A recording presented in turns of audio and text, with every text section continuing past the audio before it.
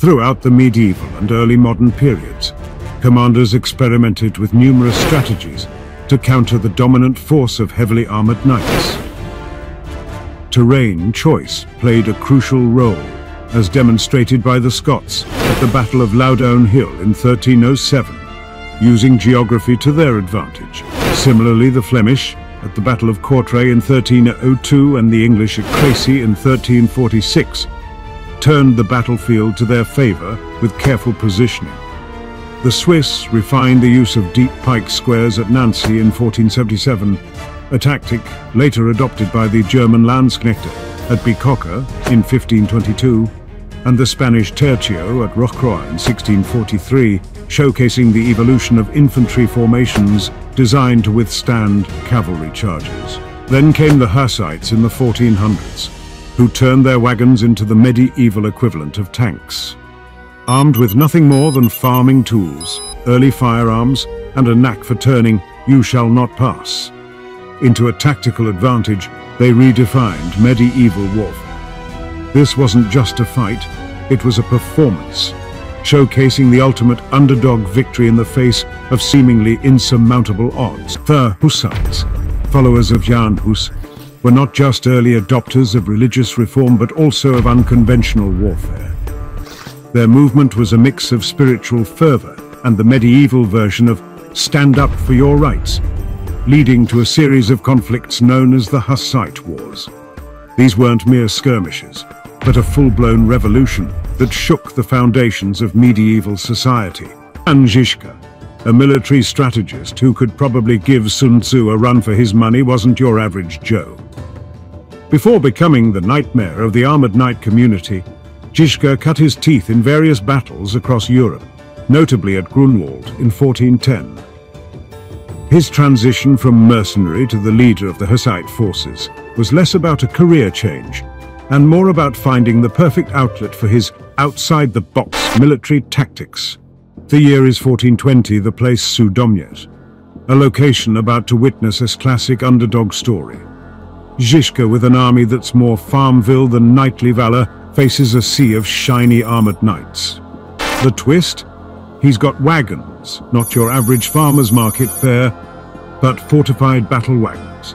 The medieval answer to a Swiss army knife. Žižka, who could probably turn a spoon into a siege weapon if he wanted, looks at the terrain. Swamp. Perfect. He thinks because nothing says welcome like a muddy bog to slow down those metal-clad horses. As the enemy charges, visions of easy victory turn into a slapstick routine of knights floundering in mud. But it's not just about the terrain. Žižka's got artillery, early handguns, and let's not forget, the flail. Because why not turn farming tools into weapons? It's like repurposing your lawnmower to cut down the enemy. Pure genius. The Battle of Sudoměř wasn't just a victory, it was a statement. Give us your tired, your poor, your huddled masses, yearning to breathe free, and we'll turn them into a formidable army with nothing but wagons and sheer wit. This wasn't just warfare, it was warfare with style. Žižka showed the world that with a bit of innovation and a good swamp, you could turn the tide of battle.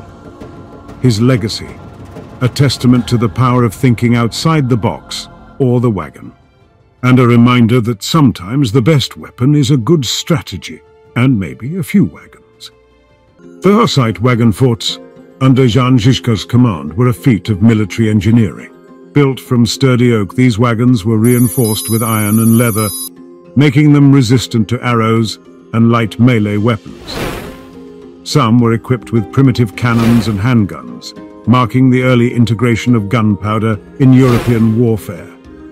The wagons were strategically arranged in circular or oval formations, providing 360-degree protection and creating a formidable barrier against cavalry charges. These mobile forts played pivotal roles in numerous battles. For example, at the Battle of Sudoměř in 1420, the Hussites, significantly outnumbered, leveraged their wagon fort to neutralize the mobility of the enemy's cavalry, securing a decisive victory. Similarly, at the Battle of Kutna Hora in 1421, the Hussites again used their wagons to great effect, repelling superior forces through superior tactics. and the defensive strength of their wagon fort. However, as warfare evolved, so did the means to counter wagon forts. The advent of more powerful artillery and changes in battle tactics reduced their effectiveness. The increased firepower could penetrate or bypass the wagon defenses, and strategic maneuvers began to outflank and isolate the forts. By the late 15th and early 16th centuries, the rise of professional standing armies and the development of fortifications rendered the wagon fort less practical in European warfare, signaling the end of its widespread use. In sum, the Hussite wagon forts represented a unique and innovative approach to warfare in the medieval period, demonstrating the power of tactical creativity and adaptation. Their success in numerous battles against better-equipped foes is a testament to their design and the strategic acumen of leaders, like Jan Žižka. Yet, as with all military innovations, the march of progress and the evolution of counter-strategies eventually diminish their utility on the battlefield. If you enjoyed today's episode, please don't forget to like, share and subscribe. Until next time.